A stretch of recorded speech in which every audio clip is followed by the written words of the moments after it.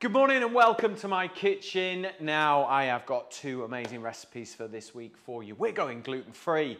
Who knew it? Peter Sidwell's going gluten free on a cake. I am not known for my gluten free recipes, but I've got an incredible lemon cake for you, but we've actually added courgettes and apple and fresh thyme from the garden just to give it a real depth of flavour. And then we've got lemon and cream cheese topping. It is going to be delicious. We're going to cut it in half and send half with Emily for her mum because she's gluten free. I'm going to send the other half to Emma's school because there is a teacher there who's gluten free and always complains because I don't send gluten free cakes. So, Jane, it's coming your way.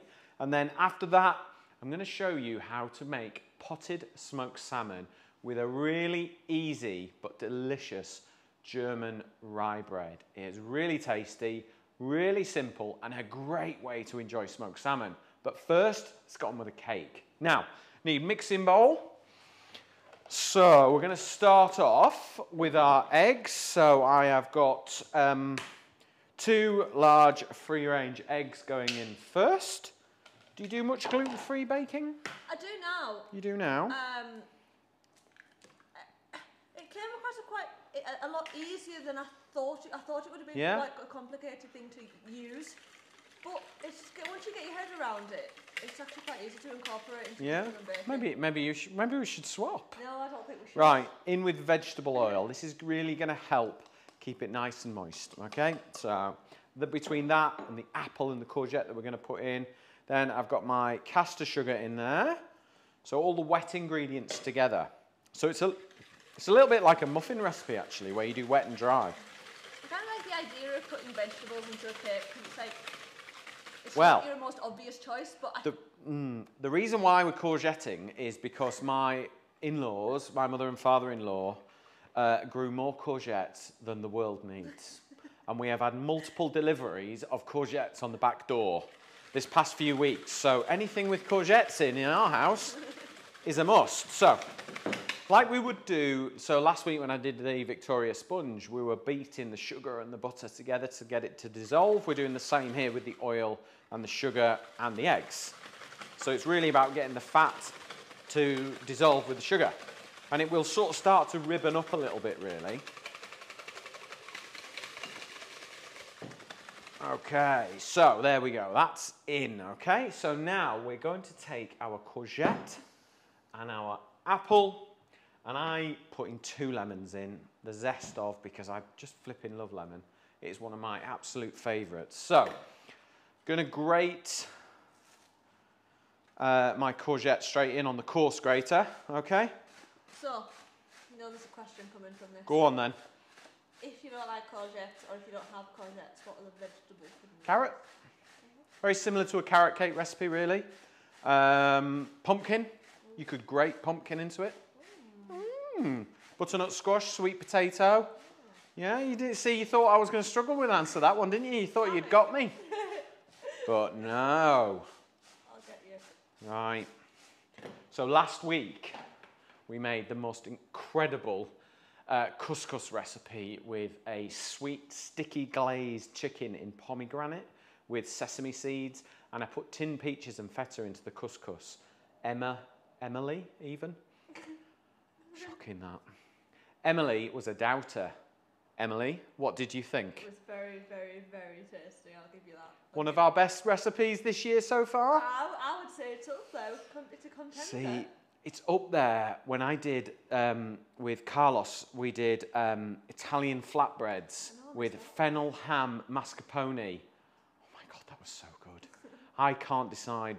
For me, those two recipes are right up there with the best we've done this year. So if you didn't watch it, go back and watch it. They're on Facebook, they're on YouTube, they're on Instagram uh, TV. You can watch them all and get all the recipes.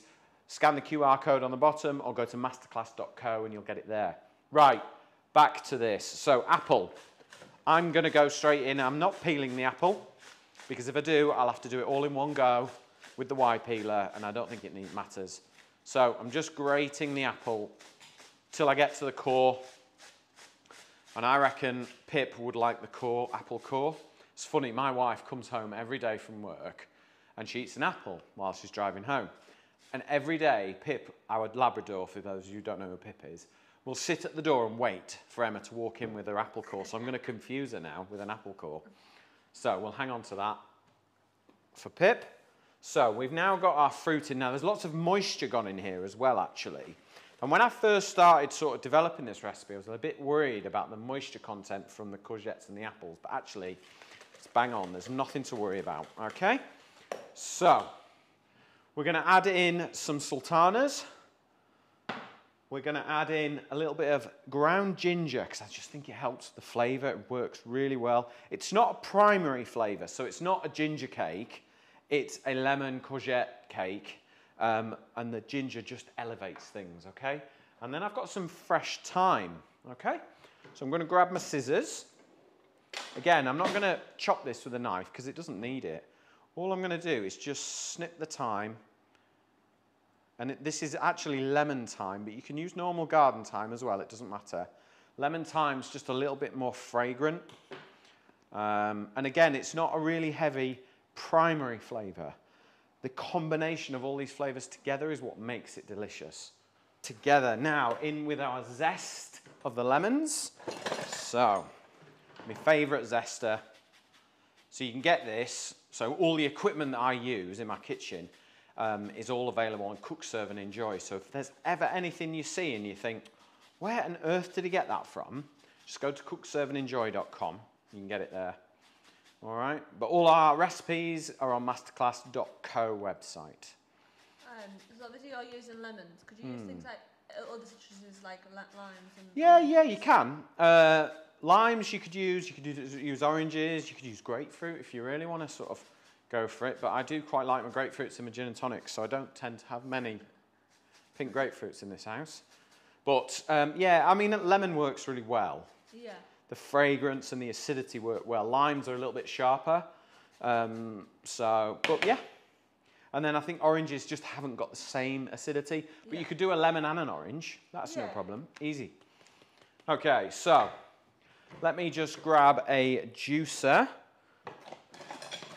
And we will get the lemons juiced as well. And get those in there. Okay.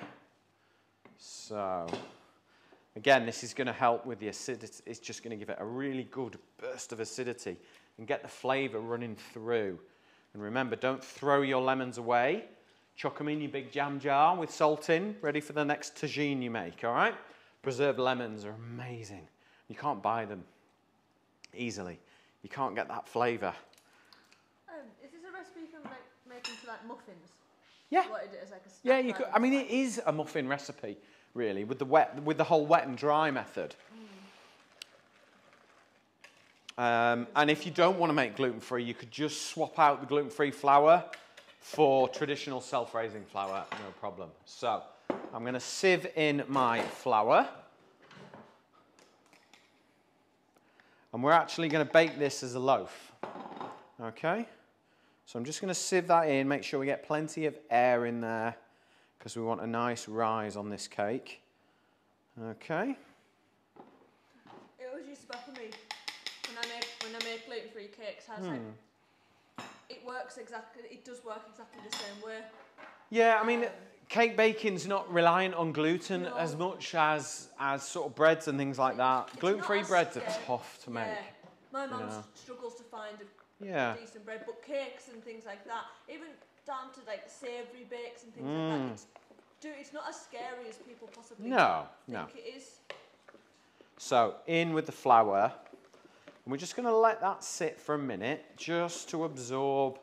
Gluten, I find gluten-free flour quite absorbent. It sort of sucks up the liquid, which is why this recipe works because of the moisture content from the courgettes and the apples. But you can kind of see we've got, you know, loads of ingredients, loads of flavour in there because of all the lemons. Now, I'm going to use um, my Masterclass loaf tin. So this is a smart space, all right, because it's a vertical. So you store it in the cupboard that way and it takes up loads less space. So when you fill your cupboard up with all these different vertical stack products, this one isn't at the bottom. All right, you can just get to them really easily. So let's get it straight in. This is a non-stick tin. It's a bit like a carrot cake, to be honest, this recipe. Um, it's very, sort of reminds me very much of that kind of a cake. So that's going into the oven for about 30 minutes at 170. Now, just remember, lot of moisture in this cake. Okay, so give it the time it needs. Check it with a skewer. It needs to come out clean. All right, so press the top. If it's firm, put a skewer in. If it comes out clean, it's baked. If not, give it 10 more minutes. Just keep your eye on it. But remember, big moisture in this cake. Okay, my cake is baking in the oven. Shouldn't take too long. Once it's cooled, we're going to top it with a lovely cream cheese lemon icing. But while all that's happening, I thought I'd show you how to make the most delicious potted smoked salmon um, with fennel, chili, and uh, lemon. And we're going to serve it with the most amazing German rye bread. It's super easy, and this is how I made it.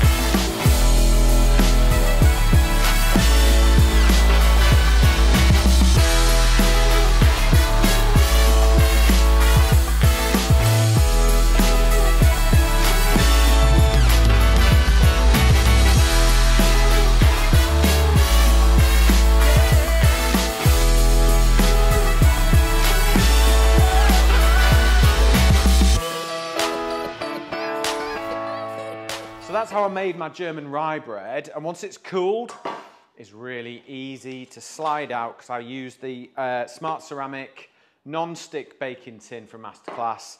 And then oh, rye bread with the treacle, the caraway in there. It is absolutely delicious.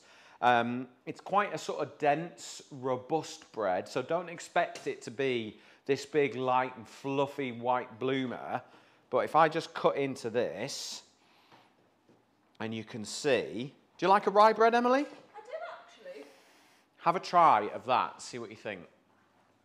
It is, oh, quite it's a- delicious. Toasted with marmalade on, it is so good. Mm. Can you imagine that with smoked salmon though? It's going to be delicious, isn't it? Mm. I love this bread. It's really, really tasty. Right, while I'm nibbling that, mm, so good. Make that. That's really good. Okay, right, let's bring our ingredients in. Now, I've got a block of salted butter, okay? Even the dog, Pip, is sat staring at Emily as each bite goes in. All right? Oh, no, she's up. She wants some rye bread too. Okay, so we've got a block of butter going in the pan. Now, I want to warm this up, but I don't want to cook the butter. Okay? It's really important. All we're trying to do is melt the butter, and we are using the butter to amalgamate all the flavours together. All right? You like that, don't you? Mmm. Poor old Pip. She's desperate for a bit. She's not having it. Right, okay. So while that is going, let's get the chili on. So I quite like a little bit of chili in this. It's optional. If you don't like fresh chili, you don't like the heat, don't put it in, okay? So I'm just going to fold the chili out and then remove the seeds carefully. So I've got a nice flat knife and then I'm just running the knife parallel and I'll remove the seeds really easily there, yeah? And then we're going to slice it into matchsticks. Hmm. There's lots of good noises going on in this kitchen at the moment, mainly for me and Emily go, mmm, mmm, nice. And then we're just going to turn the chilies around the next way and cut them into nice, fine little dice, okay? Now, if you can't get fresh chili or you haven't got it, use some chili flakes. They'll be fine. Just do be sparing because they're dry, they're hotter. So the fresh chili is a lot milder, okay? So I'm just going to pop that straight in. Pip, shush. Honestly. Sorry about that. Can't really stop a dog barking, can you, when she's desperate for something? So we just move the butter around. As, as I said before, I don't want the butter to cook, just trying to melt it, all right? And we're going to amalgamate those flavors together. Now, fennel seed to reinforce that fennel. Fennel and smoked salmon are just made for each other. They're amazing together, right? So fennel seeds I really like because when you eat it, sometimes you bite into the fennel seed, you just get that explosion of aniseed flavor running through and it all just works perfectly. Right. So while that's going on, I'm just going to grab the lemon zest. Where's my zester? Here it is. So I'm going to whack the zest in as well so we get the fragrance, not the acidity. So when you're adding lemon, zest you get fragrance, juice you get acidity, okay? So we're going to use the lemon juice for pickling the fennel, but we're going to use the zest for the fragrance and the flavour, okay? So Is there any other like? So obviously, your is, is fennel, it's chili. You Yeah, yeah. Is there any other different flavour combinations you could put? Yeah, you could put a bit of tarragon in would be quite nice. That sort of more aniseed flavour. It's similar to fennel, but you know, if you haven't got fennel, add a bit of dried tarragon works really well because dried tarragon as a herb is one of the very few herbs that's quite nice dried. But it is very strong, so you need to be careful. Right, so that butter, the residual heat is about there. So I'm just going to turn the heat off and leave that to one side while we turn our attention to the fennel. Now, cut into this, Emily. Cut into this. Right, see that little bit of the fennel there? That's the herb. Keep that, all right? So the good thing about fennel is you get a herb and you get a vegetable with it, which is brilliant. So cut the bottom off and then cut it in half, long ways. And then can you see that little core there, Emily? Yeah. So with a knife, sort of cut a triangle, and that'll remove that core. We don't want that bit because it won't render and it won't pickle. It'll just say really, really tough and it's not very pleasant to eat. Okay, and we'll do the same with this. Pop that one out. Now, with a knife, so I'm going to shred this really, really fine. So I'm going to use my 20 centimeter edge keeper. And do you see, Emily, how I'm just slicing as thin as I can possibly do? You can almost see the knife through it. Yeah, yeah. And the thinner it is, in my opinion, the nicer it is to eat and the quicker it pickles. And, you know, the quicker it pickles, the quicker I'm going to eat it. So just nice and thin. Now, if you can't use a knife like that or you're not comfortable, these mandolins are absolutely brilliant. They're from Sheffen, okay, which is, you can get it on Cook Serve and enjoy. This is a brilliant little mandolin for having at home. It, like, I can show you how quickly it works. It's brill. So you've got an angle there and you can adjust it. Now I'm gonna, I'm gonna go for as thin as I possibly can and then just like that okay, and then stop. As soon as you get to a point where like, ooh, I mean, it comes with a guard as well, and I would urge you to use the guard, but me being me, I don't, okay? And you get a really thin, fine shred. But if you want to improve your chef skills and your knife skills, which, to be honest, most people are like, oh, I wish I could cut like you, it's just roll your knife through and cut it as thin and as you possibly can. All right? Nice and thin.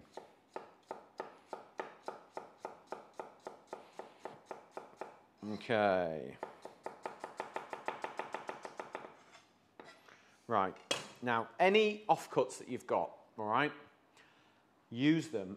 Uh, tin of tomatoes, fennel tops, clove garlic, put it on the pan with a stock cube, cook it down. You've got the most amazing Tuscan style tomato sauce. So don't throw those bits away, use them.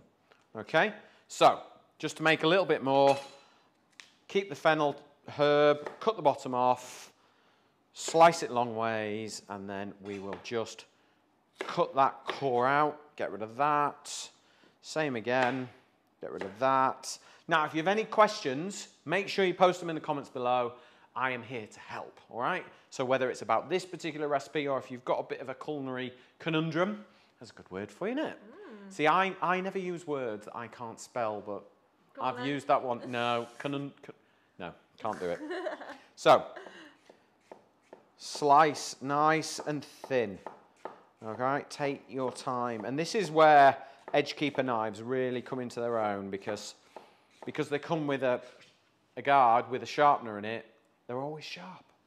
And you can do things like this. All right? So, mum, if you're watching, you need to get an edge keeper knife because your knives are terrible.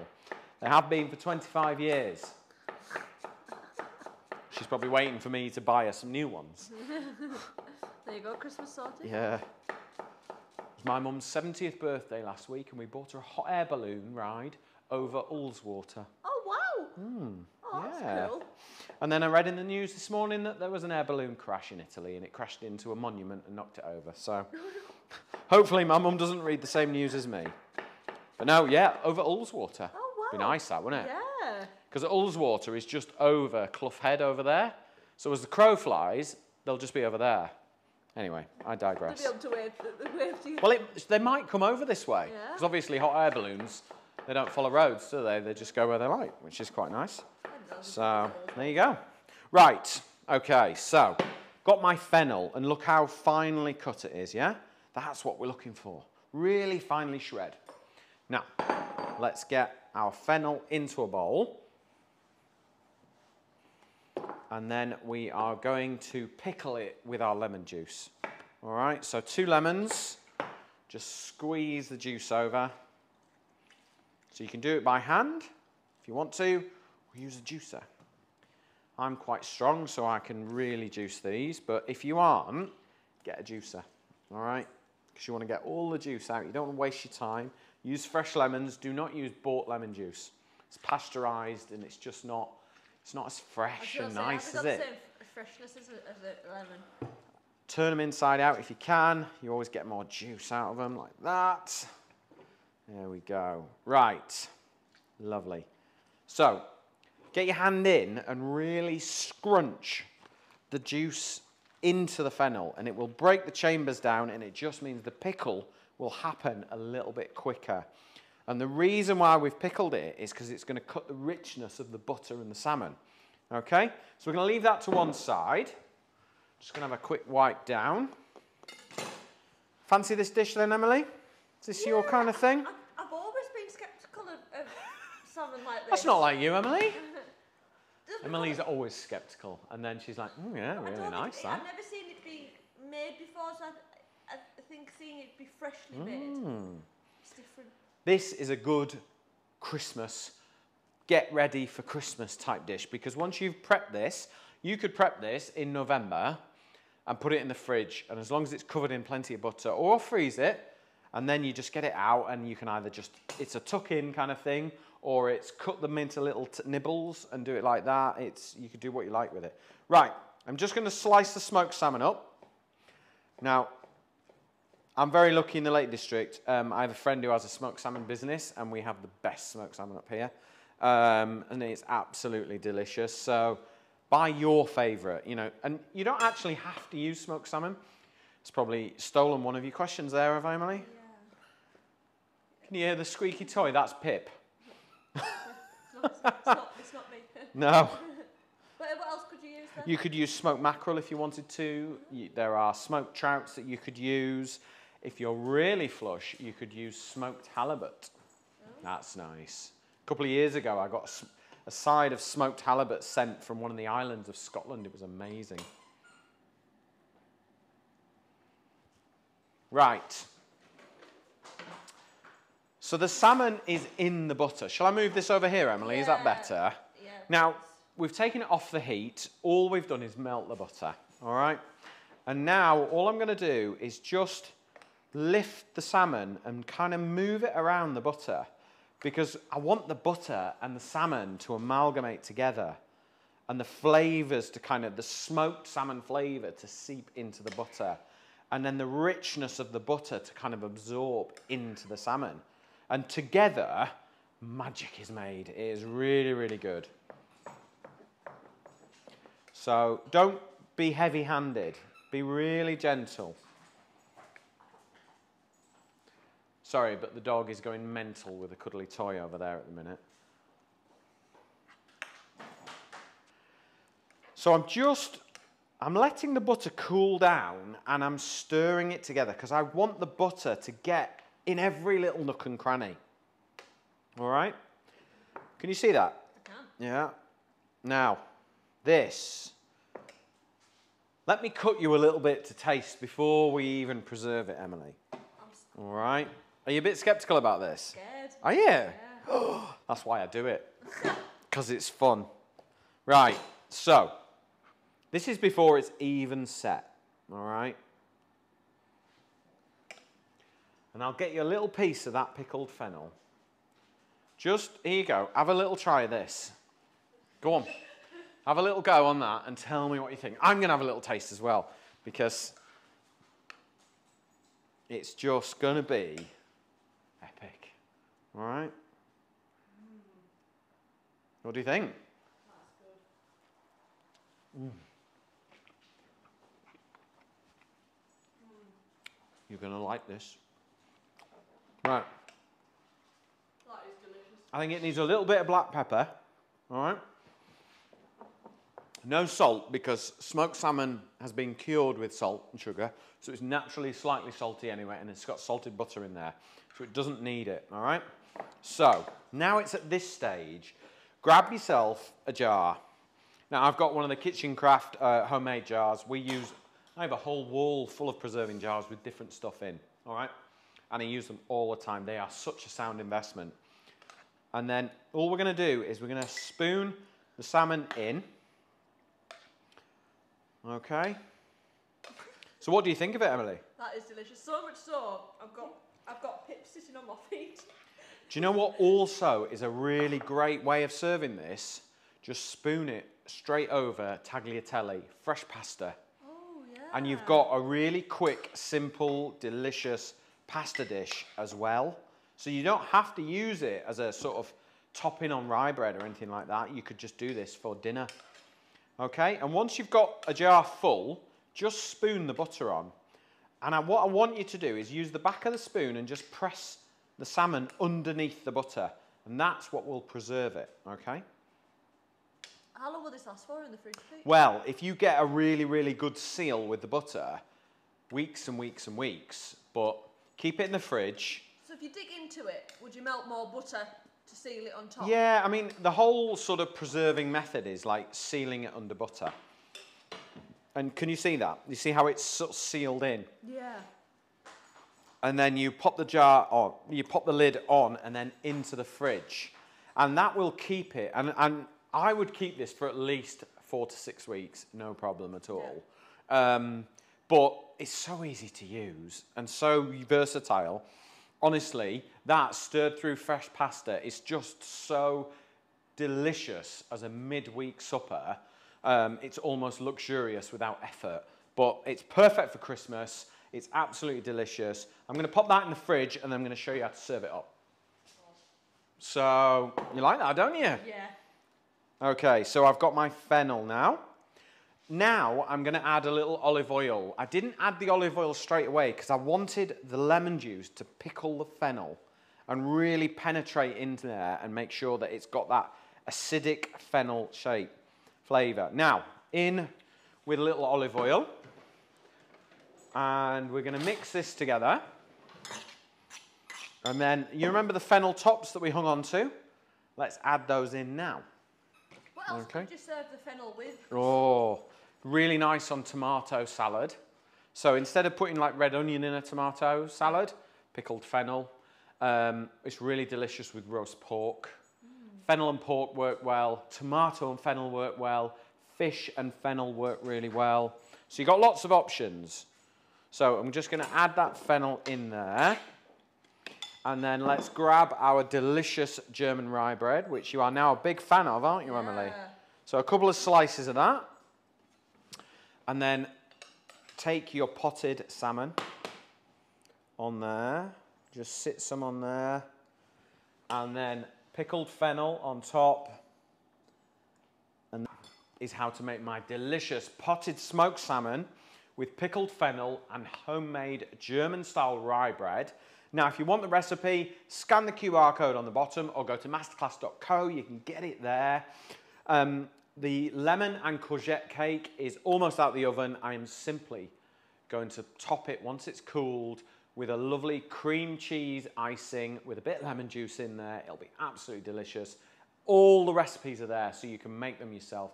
Thank you very much for joining us and I will see you on the next episode.